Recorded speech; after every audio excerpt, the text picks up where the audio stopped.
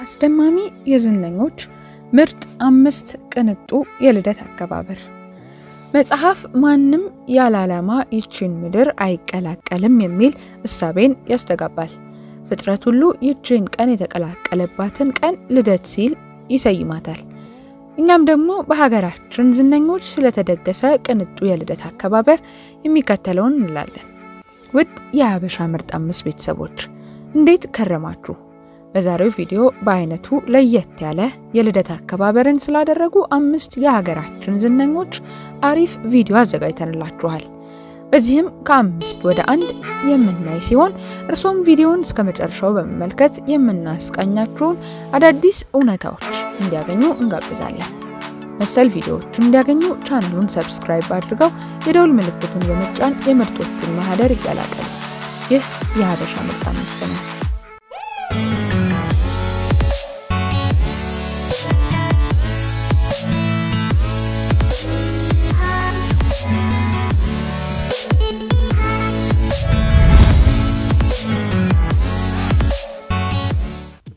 አምስተኛ አርቲስት ብሩክታዊት ሽመልስ ብዙዎቻችን የምንወዳት ልደቷን በየአምስት ዓመቱ የምታከብረው አርቲስትና የኢንስታግራም ሞዴል ብሩክቲ ሽመልስ በዝርዝራችን አናት ላይ ተቀምጣለች። ይህንን ስም መቼም በዚህ ርዕስ መጠበቅ ጤናማነት ነው። 21 ዓመቷን በ20 ውስኪዎች ስትንቦጫረቅ ያሳለፈችው እንስቷ የብዙዎች መነጋገሪያ ሆና መሰንበቷ አይዘነጋም። በዚህ የልደት አከባበሯ ብዙዎች እንደነቀፏት ሁሉ ከልደቷ አንድ ዓመት አስቀድሞ እድሜ 20 ነው ስትል የተቃጣባት ጦርነት መክቶ ያለፈ ክንዷን በዚህ ርዕስ ስር ሳይወድሱ ማለፍ ምቀኝነት ይሆናል። እንደሚታወቀው አርቲስት ብሩክቲ Classmate ን ጨምሮ ዘጠኝ የሚጠጉ ፊልሞችን ላይ በትወና የተሳተፈች ሲሆን የመጀመሪያ ፊልሟን ማለትም ፍቅሬን በምን ቋንቋ የተሰኘውን ፊልም እንደ አውሮፓውያን የዘመን ቀመር በ2015 ለእይታ አብቅታለች። ታዲያ የአንድ ፊልሟን መመረቅ ተከትሎ በዝነኛው ሾው ላይ ቀርባ ስለ እድሜዋ ለቀረበላት ጥያቄ ከብዙ አሰልቺ ማብራሪያዎች በኋላ የሚከተለውን አለች። እኛም ለአቀራረብ በሚያመች መልኩ የዝነኛዋን ንግግር ወደ አማርኛ እንደሚከተለው ተርጉመነዋል። ምን መሰላችሁ ምርጦችዬ፣ እድሜ በሶስት ይከፈላል። አንደኛ ህዝብ የሚያውቀው እድሜ፣ ሁለተኛ ህዝብ የማያውቀው እድሜና ሶስተኛ ህዝብን ግራ የሚያጋባ እድሜ። የእኔ እድሜ አለች አሉ ዝነኛዋ ብሩክታዊት ሽመልስ። ኦ አንድ ጥያቄ፣ ምንድን ነው ይሄ ሁሉ ማብራሪያ?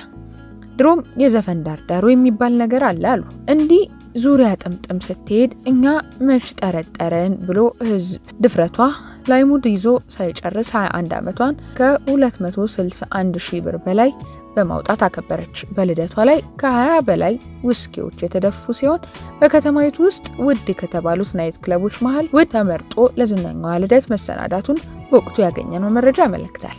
አራተኛ አርቲስት ሰላም ተስፋዬ ስለ ሰላም የፊልምና የህይወት ጉዞ ብዙዎቻችሁን እንደምታውቁ እምነት አለን። እኛም ዛሬ የምንነግራችሁ እሱን አይደለም። ሰላም ተስፋዬ ጥሩ የፊልም ክህሎት ካላቸውን አብዛኛው በፊልም ተመልካቾች ዘንድ ከሚወደዱ ጥቂት የሀገራችን እንስት ተዋንያን መሃል ነች። ይህ ጉዳይ ይመስላል ዝነኛዋ የምታደርጋቸው እያንዳንዳቸው እንቅስቃሴዎች ለኪነ ጥበብ ቅርብ በሆኑ ሰዎች አይን ውስጥ የሚከታት በተለይም አርቲስቷ ባሳለፍነው ዓመት 200 ሺህ ብሮችን በተሻገረ የገንዘብ መጠን ተደግሶላት በተባለላት ልደቷ ዙሪያ በርካታ ሰዎችን ማነጋገር የቻለች ሲሆን እረ ፍትህ ለገንዘብና ለገንዘብ አጠቃቀም ያሉ የማህበራዊ ሚዲያው ታጋዮች እዚህም እዚያም አርቲስቷን አውግዘዋል። 200 ሺህ ለልደት ያሉ የቁርስና የምሳ ቸግሯቸው በየጎዳና ያሉ የመዲናይቱ ጎዳና ተዳዳሪዎች አምላካቸውን በትዝብት እንደሚመለከቱ የአይን እማኞች ነግረውናል። ለማንኛውም ልደታቸውን ቅንጡ በሚባል መልኩ ካከበሩት አርቲስቶች ዝርዝር ውስጥ አርቲስት ሰላም ተስፋዬን አካተናታል። ሶስተኛ አርቲስት ንግስት ፍቅሬ። አንጃይተር እንዳትሉ ያ ያለፈ ታሪክ ነው። ክብራንና ክብራን በአራተኛው ደረጃ ላይ የምናገኛት ዝነኛችን አርቲስት ንግስት ፍቅሬ ነች። ዝነኛዋ የቀድሞ ፍቅረኛዋን በተለየሽ በቀናት ልዩነት ውስጥ ተወዛዋዥ አብዮትን ካሳነሽን ካገባች በኋላ የብዙዎች መነጋገሪያ ሆና መሰንበቷ አይዘነጋም። በተለይ ደግሞ ጀነራል አንጃይተርም ቅጽል ስሟ እስከ መሆን ደርሷል።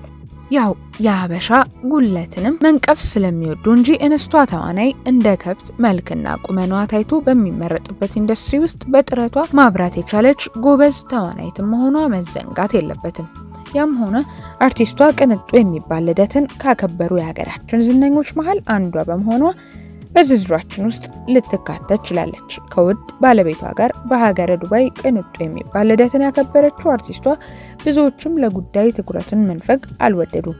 እስከ 300 ሺህ ብር የፈሰሰበት ይሄው የዝነኛዋ ልደት በተንደላቀቀ ጀልባ ላይ በዱባይ ሐይቅ ላይ ስታከብር የሚያሳየው ቪዲዮ በተለቀቀ 24 ሰዓት ጊዜ ውስጥ በርካታ ተመልካቾችን በኢንስታግራም ገጿ ላይ ማግኘት የቻለ ሲሆን በርካታ አርቲስቶችም የመልካም ልደት መግለጫቸውን አጋርተዋል።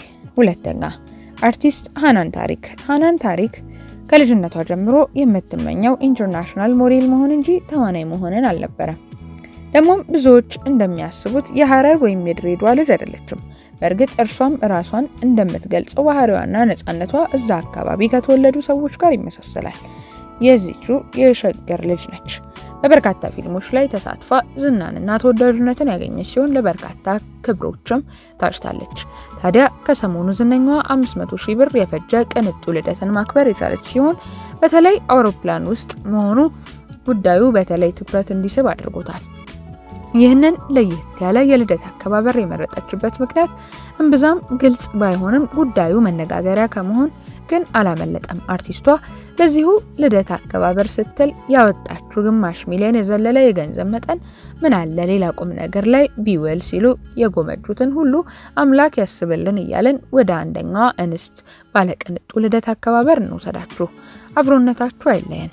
አንደኛ አርቲስት እፀ ሕይወት አበበ ውለትና እድገቷ ከመዲናይቱ ሰፈሮች መሃል አንዱ በሆነው ጣሊያን ሰፈር ነበር።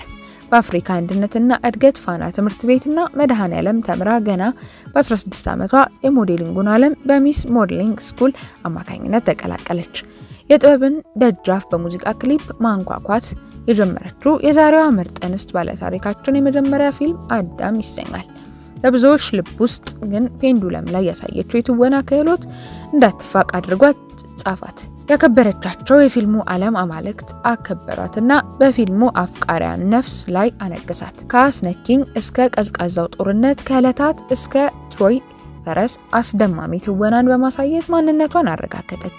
በሰራቻቸው ፊልሞች ጥቂት የማይባሉ ሽልማቶችን የሰበሰበችው እንስቷ የትወናዋ ዓለም ኮከብ አርቲስት እፀ ሕይወት ዛሬ ባነሳ ነው ቅንጡ ልደት ባከበሩ አምስት አርቲስቶች ርዕስ ስር ማጠንጠኛችን ትሆናለች።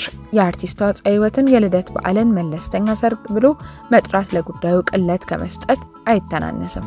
ጊዜው የኮቪድ-19 ወረርሽኝ በሀገራችን ዱብዳ በነበረበት ወቅት ቢሆንም ይህን ያህል ወጪ የወጣበት ልደት ከኮቪድ ፕሮቶኮል ጋር አያይዞ መተቸቱ ፍትሐዊነትን ማጉደል ይሆናል።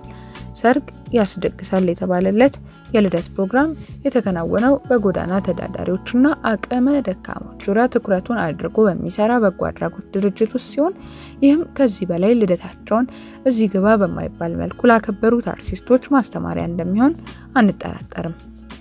በመጨረሻም ለየት ያለውን በሀገር አሜሪካን በ6 ሚሊዮን ብር ስለተከበረው የጠቅላይ ሚኒስትር አብይ አህመድን የልደት በዓል አከባበርን ልናነሳላችሁ ወደድን። የጠቅላይ ሚኒስትር ዶክተር አብይ 44ኛ ዓመት የልደት በዓል August 15 እንደተከበረ ይታወቃል።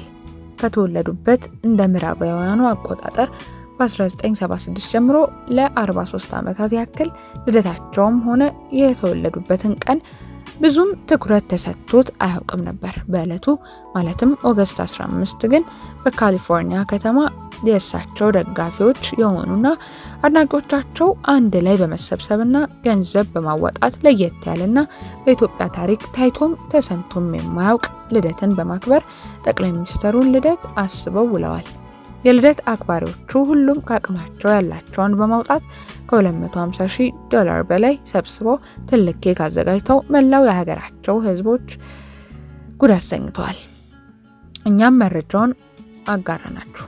ክቡራን የሀበሻ ምርጥ አምስት ቤተሰቦች ለዛሬ ያሰናዳንላችሁ የእስካሁኑን ይመስላል። ቪዲዮውን ከወደዱት like ና share በማድረግ አጋርነታችሁን አሳዩን። መሰል ቪዲዮዎች እንዲያገኙ ደግሞ ቻናሉን subscribe ያድርጉ።